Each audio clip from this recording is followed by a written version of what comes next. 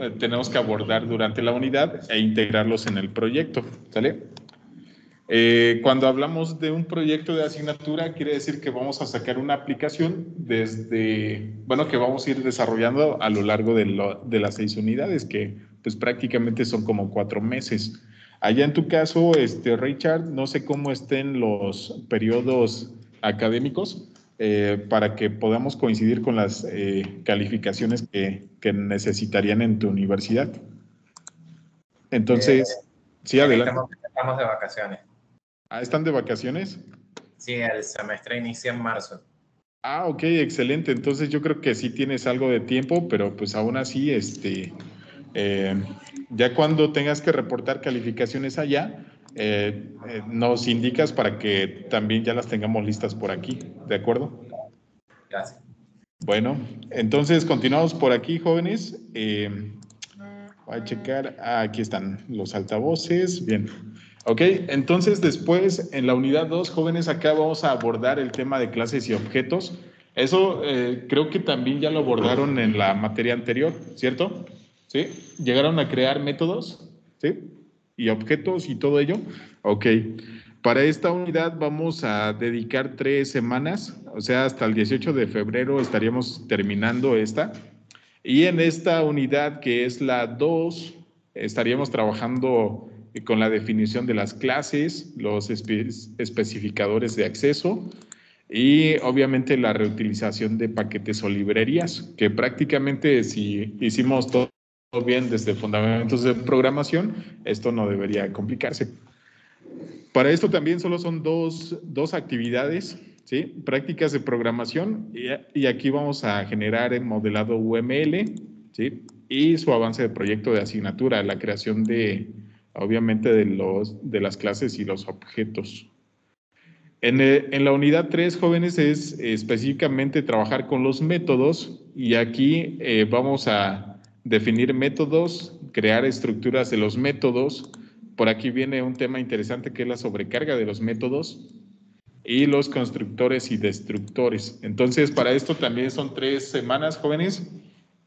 Y la misma dinámica que las unidades anteriores, también solo dos actividades a entregar y el total es de 15% de, del 100% al cual vamos a llegar. En la unidad 4 es herencia y polimorfismo y aquí también dos, eh, dos actividades. Eh, pues bueno, a esta también tres semanas nada más.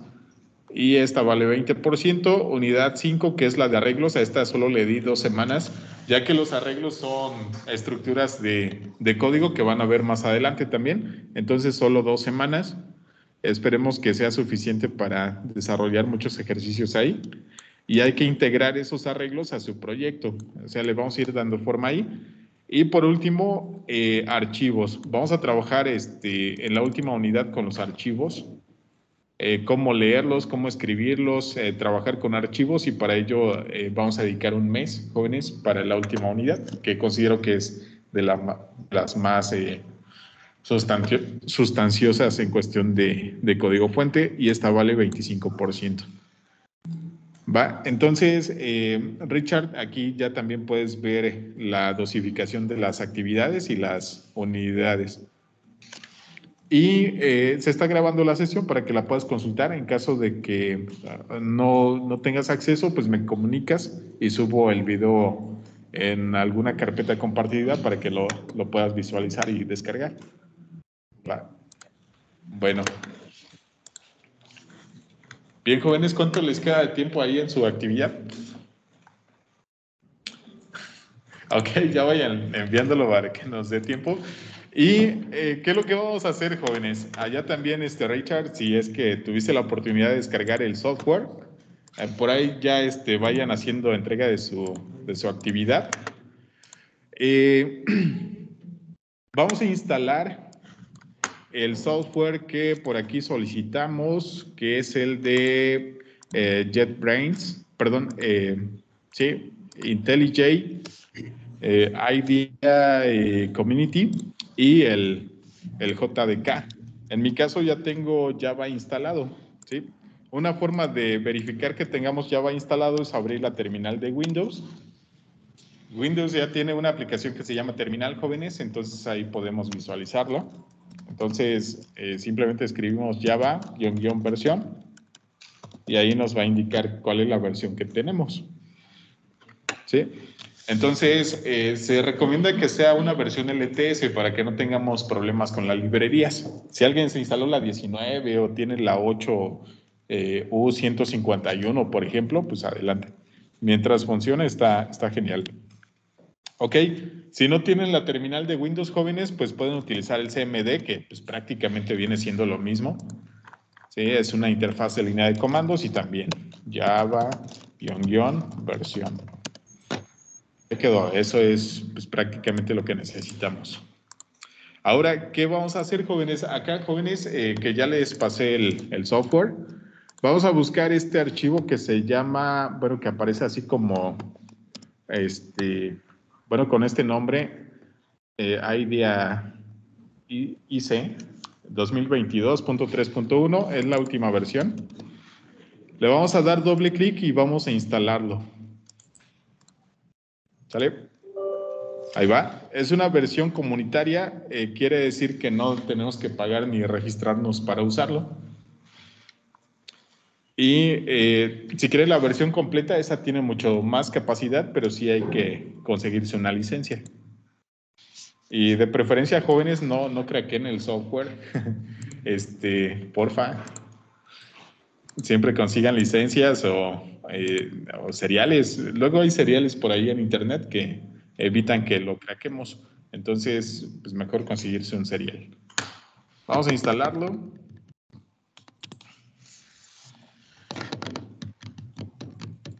Eh, el proceso puede tardar un poco, a lo mejor hasta unos cinco minutos ahí en, finalizar la instalación. Entonces, téngale paciencia a su computadora. Eh, a veces no, no podemos hacer mucho, pero bueno, hay que esperar por aquí.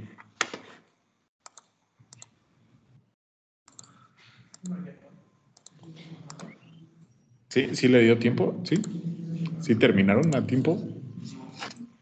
¿Ya subimos a como esté? Sí como esté.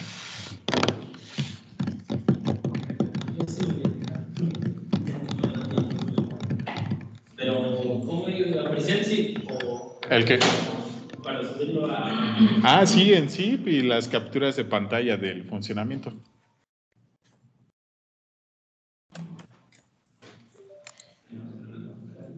Bueno, ahí va la instalación, ya casi finaliza.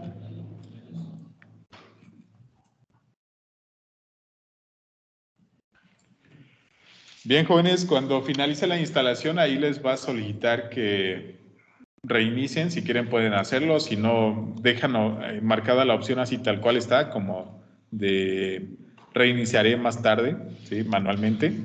Entonces, yo, yo voy a dejarlo así con la segunda opción seleccionada y nada más le voy a dar clic en Finish. Y listo, jóvenes. Ahora lo que vamos a hacer es iniciar aquí IntelliJ la ventana de, inicio, jóvenes, aquí tenemos los términos y condiciones de, de IntelliJ, que es de JetBrains. Vamos a darle aquí en confirmar y le damos en continuar. Y esto es importante, jóvenes, aquí, digamos, compartir datos, porque a partir de la experiencia que nosotros tengamos eh, con el software, es como van mejorándolo. Si ustedes no quieren compartir datos, o sea, la analítica de lo que hacen, no hay problema, simplemente le dan en no enviar. Y si quieren, no sé, que el software mejore, pues le dan ahí enviar. Ahí ya depende de ustedes y de lo que ustedes quieran. Voy a aumentar la escala de la pantalla para que podamos visualizarla mejor. Richard, si tienes alguna duda, eh, puedes comentarla para que vayamos resolviéndola. Bien. Ok, eh, creo que escucho un ligero retardo ahí de, del audio, ha de ser por la conexión a internet. Pero bueno, creo que estamos bien, creo que sí, sí me escuchas. Bien, jóvenes, entonces aquí esperamos. Voy a esperar unos cinco minutos para que finalicen su instalación y podamos continuar, ¿va?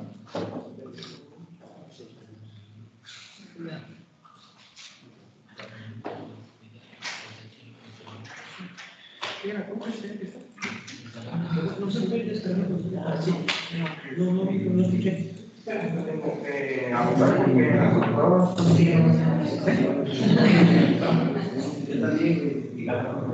Eran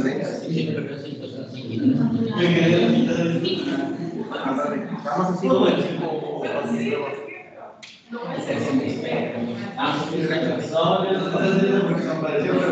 Y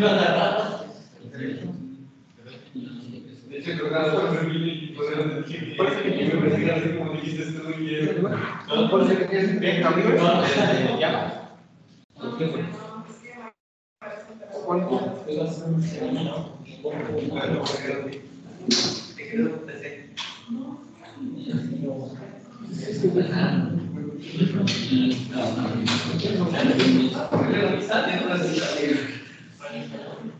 ¿Qué te lavas? No está hablando nada, güey, entonces se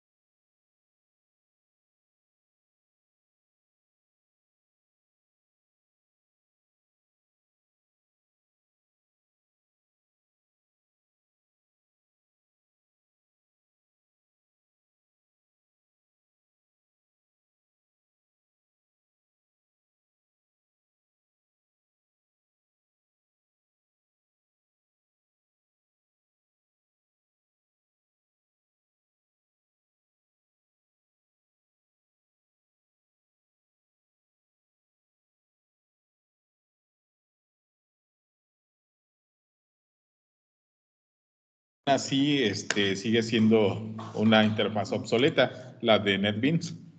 Entonces, eh, pues han habido muchos cambios en cuestión del lenguaje de programación Java, ¿sale? Hasta el momento creo que ustedes han programado Java, pero en cuestiones muy básicas, o sea, Java eh, en fundamentos de programación para las estructuras de control y eso. Pero Java se puede utilizar incluso para web, ¿sí? Entonces, por aquí vamos a ver que en web eh, podemos utilizar un framework que se llama Spring Boot. ¿Lo han escuchado en algún momento? Muchos sitios web, eh, más bien aplicaciones web empresariales están creadas con, con Spring Boot. Y Spring Boot es, eh, pues, un framework en el cual el lenguaje principal es Java, ¿sale? Y después de Spring Boot está eh, Spring, Spring Framework, ¿sale? Son dos cosas distintas. Uno es Spring Boot, Boot, perdón, y el otro es el Spring Framework, ¿sale? Se parecen, pero realmente son distintos. Uno está en la versión 3.02 y el otro en la 6.0.4. Y tienen eh, cosas distintas. Ahora, eh, Java también podemos utilizarlo para la parte de Machine Learning. ¿Han escuchado el término de Machine Learning? ¿Ok? De eh, aprendizaje máquina. ¿Ok? Esos ya son temas un poco avanzados de, ahora sí, de Java y el principal exponente de, de ese tipo es Weka, ¿sale? Weka, ¿qué es? Es una librería o más bien es una aplicación que reúne muchas librerías de, aprendizaje automático, ¿sale? Bueno.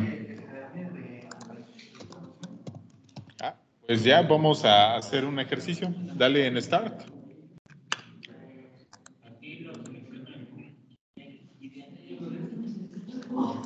Sí.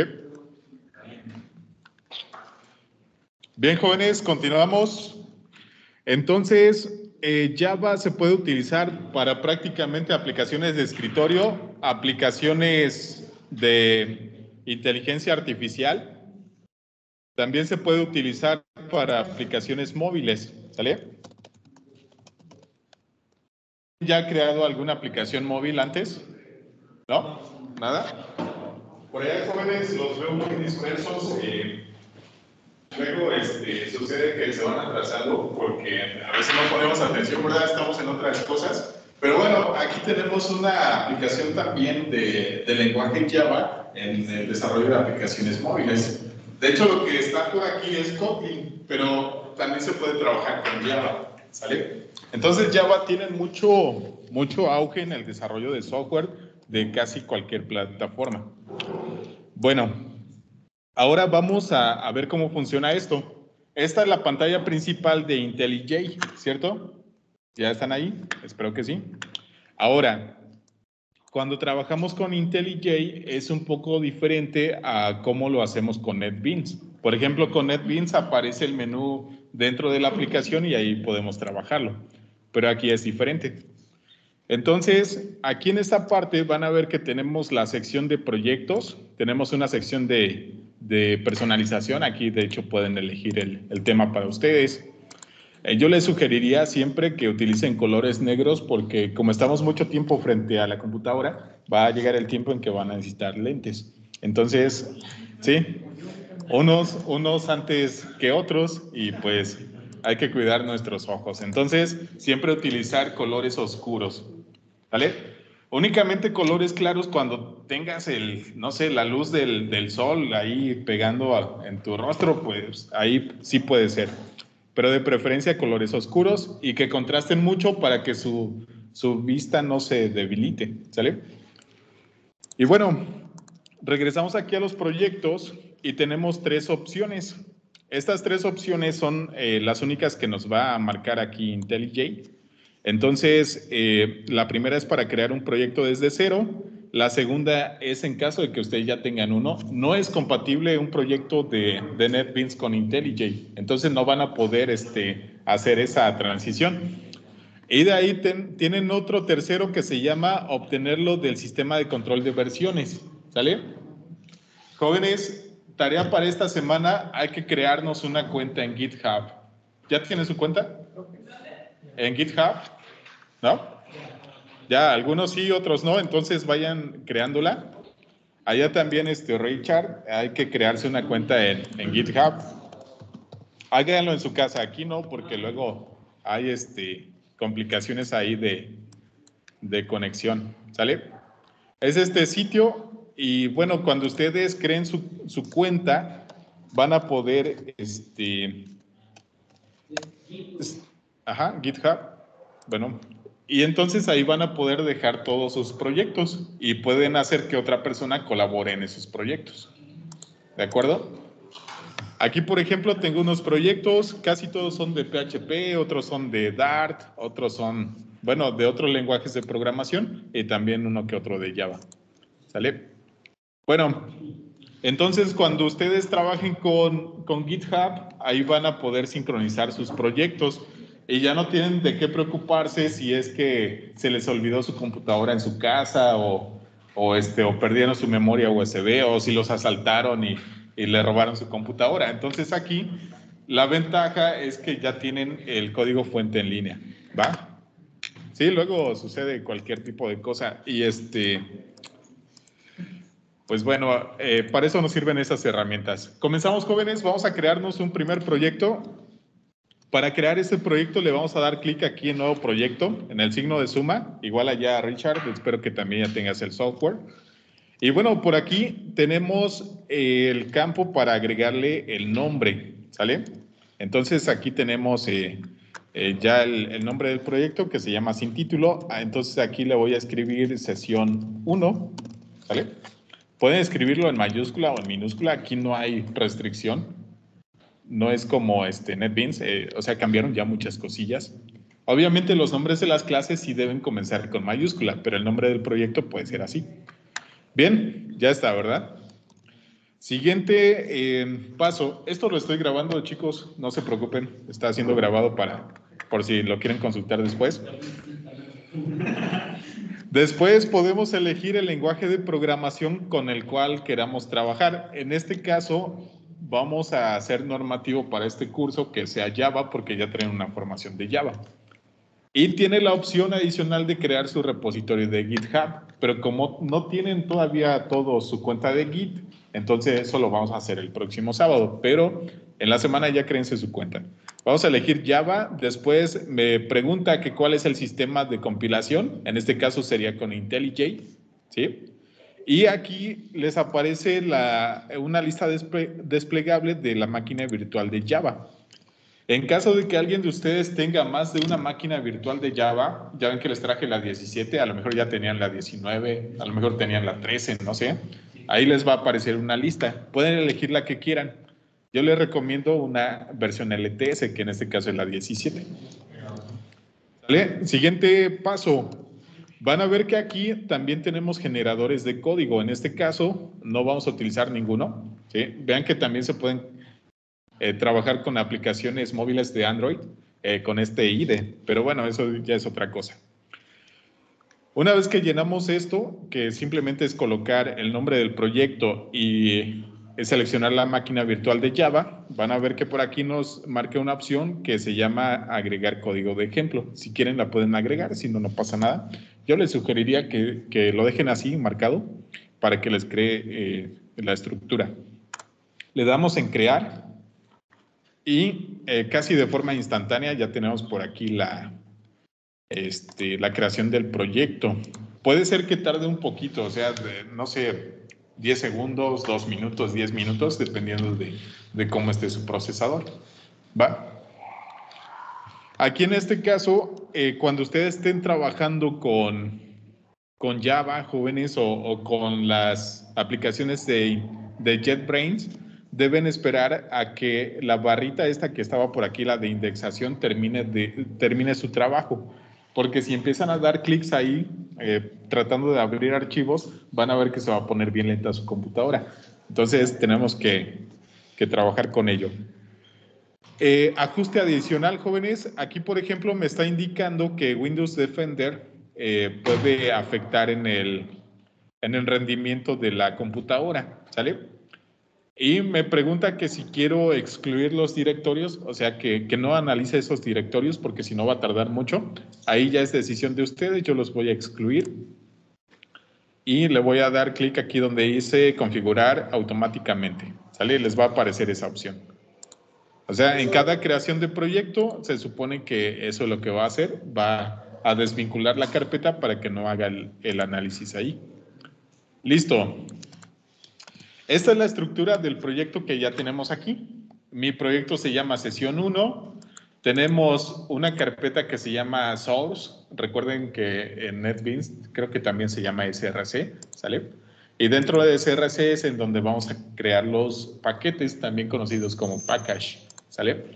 Y dentro de los package, pues van ya este, los nombres de las clases y todo lo que necesitemos de código fuente.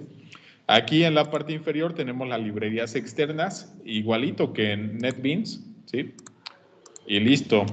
Entonces, van a ver que se crea una clase principal llamada main, que eh, también significa principal. Main es principal. Si le damos doble clic, van a ver que aquí se despliega ya el código fuente. ¿Sale?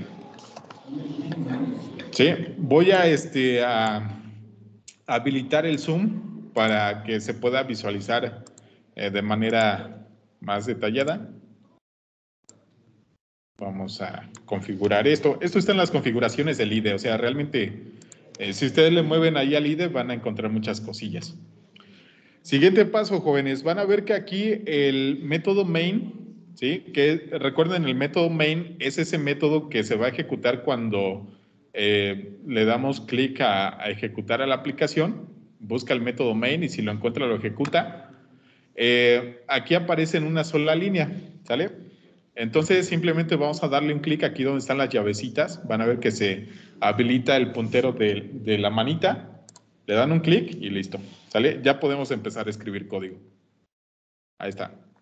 Entonces vean que de forma introductoria ya trae un poco de código. Realmente está muy, muy básico esto. Y ahora sí, vamos a crearnos nuestro primer paquete. Todavía voy a revisar cómo les quedó su ejercicio del IMC, pero ¿cómo lo resolverían ustedes? ¿O cómo lo resolvieron? Coméntenme. Co copiaron y pegaron código de internet, ¿verdad? Sí. Ok, sí, sí lleva en su estructura. Esperemos que Richard lo haya hecho este, eh, diferente allá. Nada más que él creo que trabajó con Python. Bueno, entonces jóvenes, aquí qué es lo que vamos a hacer? Nos vamos a crear un primer paquete, ¿sale? ¿Listos? Bueno, ya si no hay, ven la grabación para que vayan practicando. Eh, para crearnos un paquete, jóvenes, eh, creo que eh, cuando nos enseñan a crear paquetes, solo creamos carpetas, pero cuando les voy a mostrar algo ahí preciso, cuando trabajamos con aplicaciones móviles, y ya disculpen que tenga que ir acá, por ejemplo, en el Jetpack van a ver que aquí hay bibliotecas, y estas bibliotecas tienen una forma estructurada de traerlas. Si ustedes verifican aquí, ahí miren específicamente, dice implementación Android X, eh, punto activity, dos puntos activity, activity version. Entonces, esto es un nombre de paquete. Vean que tiene un punto que va separando. El punto significa que está llegando a otra carpeta y de ahí entra otra que realmente son subpaquetes. ¿Sale? Eso es en Groovy. En Kotlin, ¿cómo sería? Sería prácticamente similar. Y en Java va cambiando, a veces es un poco diferente. Pero la nomenclatura es la misma. Entonces nos vamos a crear un paquete, jóvenes.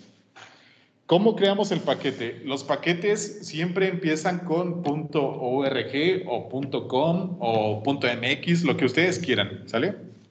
Bueno, eh, quitamos el punto antes, sería com, mx, org, lo que ustedes quieran. Eso lo vamos a hacer aquí dentro de la carpeta src. Le vamos a dar clic en New. Después nos vamos a Package. Y aquí en el Package eh, tenemos que indicar el nuevo nombre. Y por ejemplo, en mi caso voy a colocar com.degante, por ejemplo, que es mi apellido. Punto, y aquí voy a colocar, este, no sé, clases. ¿Sale? Y ese sería mi nombre de paquete. En Java, jóvenes, cuando estamos trabajando con proyectos ya este, reales, es la forma de cómo crear los paquetes. ¿va? Dominio, perdón, este, sí sería algo así como dominio punto, después eh, una carpeta principal y dentro de esa carpeta principal otra donde van a haber más paquetes. E incluso podemos tener un paquete de muchas carpetas porque tenemos que ir anidando. Y esas, esas clases después las vamos a tener que traer a otras clases, ya a través de la creación de objetos. Bueno, en este momento ya me creé mi paquete, jóvenes. Miren, ahí está. Mi package se llama clases y está dentro del dominio de gante.com. ¿Listo? Ahora nos vamos a crear una clase. Las clases las vamos a crear dentro de los paquetes. Entonces le vamos a dar clic derecho, Java Class, y aquí me voy a crear una clase que se llame persona, porque ¿a quién le voy a calcular el IMC? Pues a la persona, ¿verdad? Ahí quedó. Entonces, automáticamente van a ver que ya eh, me detecta el package, que es el paquete donde estoy en este momento. Y aquí, ¿qué es lo que vamos a hacer? Pues como en la salida de mi programa me está pidiendo que le muestre el nombre, voy a escribir su nombre. ¿Qué más estamos pidiendo? El peso, la estatura. Eh, sí, sí, de hecho son las variables. Ahí está. Vamos a poner el peso. Peso, eh, perdón, este sería un float. Bien. Y después vamos a colocar el IMC. El IMC debería ser de tipo double. ¿Por qué double? Porque tienen que hacer una operación. Y la estatura es en, es en centímetros. Entonces, al ser en centímetros, vamos a tener que colocarla entero. O ya este, de manera interna, pues ustedes la, la convierten. Pero bueno, ahí quedó. Eh, el mensaje para qué es, esto es para la recomendación, ¿qué es lo que vamos a hacer a continuación? Pues nos creamos el, el método constructor, public persona, ¿sale? Este es el método constructor vacío. Y aquí le vamos a colocar método constructor vacío. Recuerden que hay dos constructores. ¿Cuál es el otro? Si uno es vacío, ¿el otro cómo se llama? Parametrizado. Excelente, qué bueno. Ahí se ve que sí le, estudiaron. Y bueno, entonces en el método constructor parametrizado, pues hay eh, por ahí unos truquillos que podemos eh, aplicar. Entonces, lo mismo, lo mismo que hacían ustedes ahí en, en NetBeans, podemos hacerlo acá. Simplemente ya definiendo las variables, le damos clic derecho, hay una opción por aquí que se llama generar. ¿Vale? Seleccionamos Getter y Setter. Después seleccionamos todos los atributos. Le damos en OK y ya tienes tus métodos Get y Set. Obviamente, si necesitamos algo personalizado, tenemos que, que modificarlo. Ahora, ahora que ya está esto, vamos a crearnos el método constructor parametrizado. Entonces, clic derecho, generar, constructor, y el parametrizado como lleva todos los, eh, lleva algunos atributos, de hecho pueden poner algunos o todos, le vamos a dar clic en OK y ya está. Y ahora, jóvenes, vamos con el método toString. El método toString también lo podemos generar de forma automática, pero ¿qué pasa si queremos personalizar el mensaje? Que de hecho eso es lo que tenemos que hacer, porque a, lo mejor lo generamos, pero después tenemos que generar otro método. Entonces, de una vez, public string to string. Y aquí le vamos a decir return. ¿Y qué, es lo que vamos a retornar? Eh, según el ejercicio que estaba por aquí. Ahí está. En general, en la evaluación diagnóstica, hay 17 intentos, ¿eh? Genial. Vamos a ver aquí en la pregunta. Es, es todo esto. Esto lo tenemos que pasar. Esto lo tenemos que pasar a aquí. ¿Sale? Entonces, hasta este momento, eh, vean que mi nombre tiene apellidos también, eh, no pedí los apellidos, entonces se entiende que el nombre es completo. Entonces sería algo así como get nombre, ¿sí? Su IMC es de, y entonces aquí vamos a tener que separar y poner aquí eh, get IMC y tiene sobrepeso, ¿verdad? Entonces ahí, este, esto también tiene que eh, tiene que variar, ¿sale? Entonces, todo esto lo puedo manejar en una sola cadena, ¿sale? ¿Cuál? Ah, permítame nada más, aquí voy a poner la recomendación, que era get, get, get, get, get mensaje, ¿sale? ¿En dónde?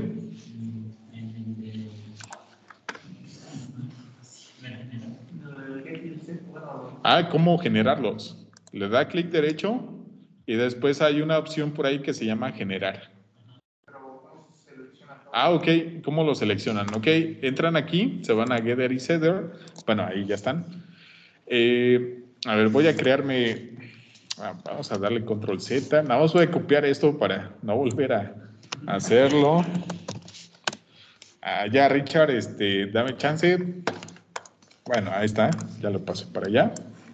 Vamos a eliminar todo esto, jóvenes, y vamos a hacer de cuenta que, que no lo habíamos hecho. Ahí está. Entonces, para generarnos esto, eh, primero vamos con eh, los getter y setter. Primero getter y setter, recuerden.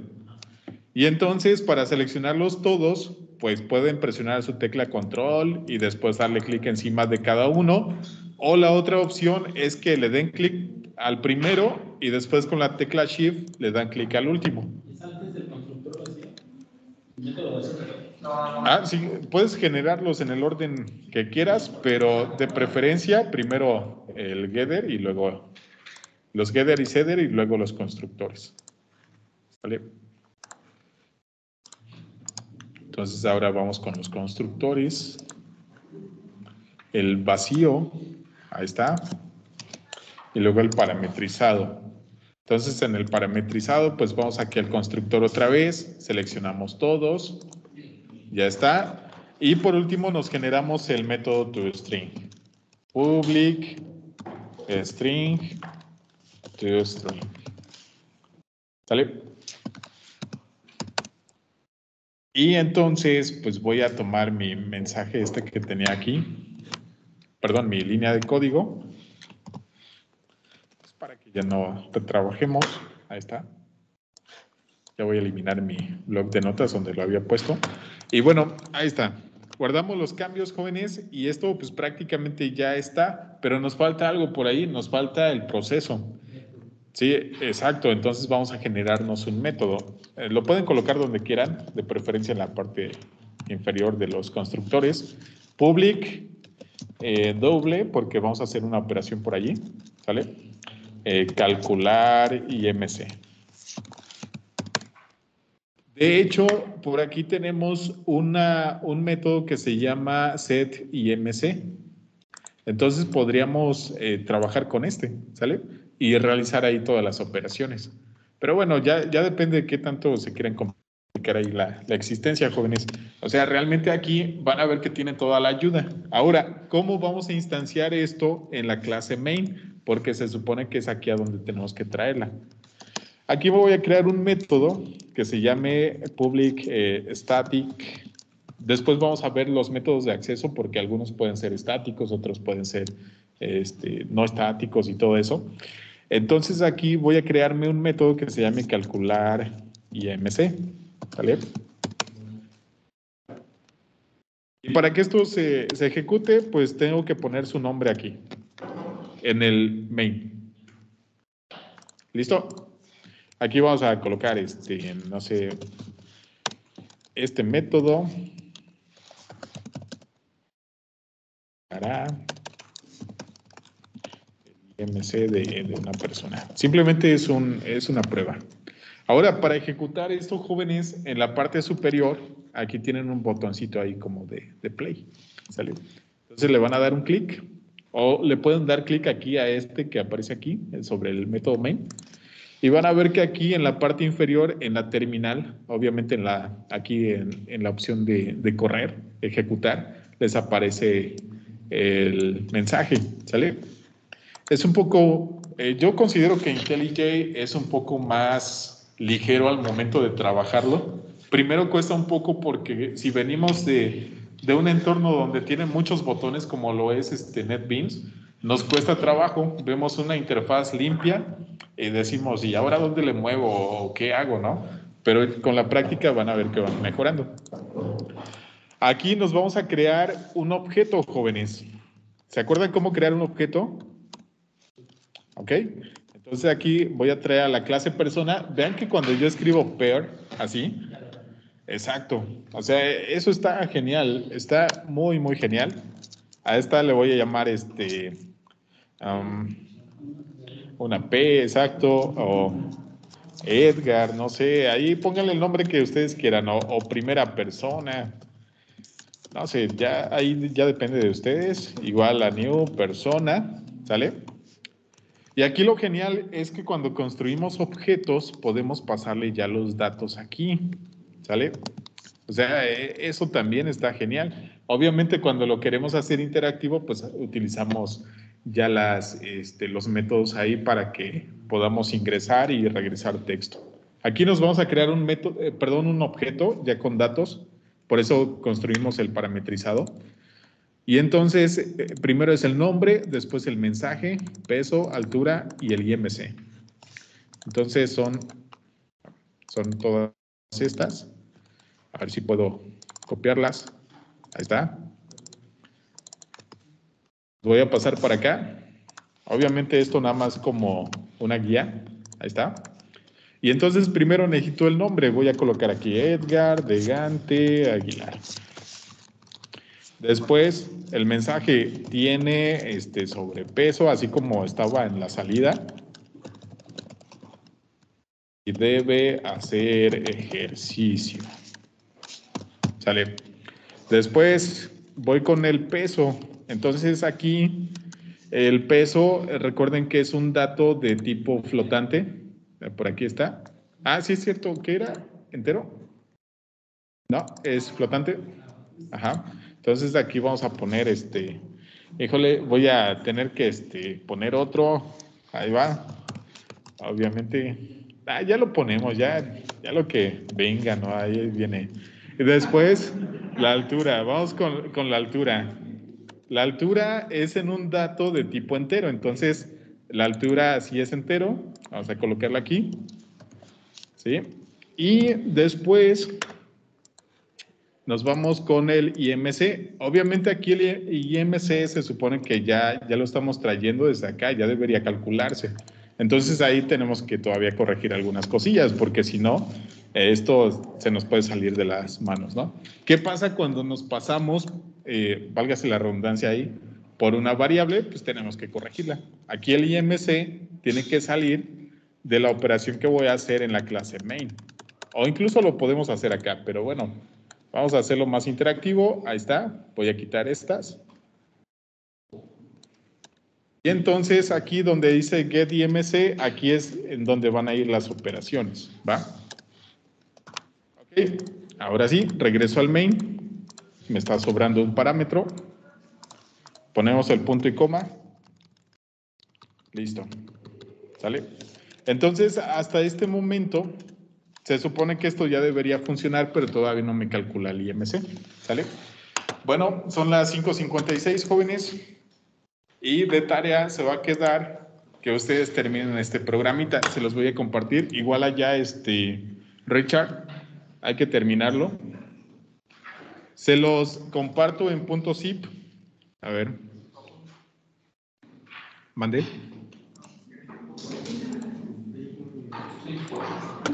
Listo, te lo paso por aquí, este, Richard. Y jóvenes, lo subo a la plataforma para que de ahí lo descarguen. Hay que traerlo solucionado el sábado. Y nos vemos, jóvenes. Cuídense mucho. Nos vemos, este, Richard también. Por ahí platicamos en la semana. Cuídate.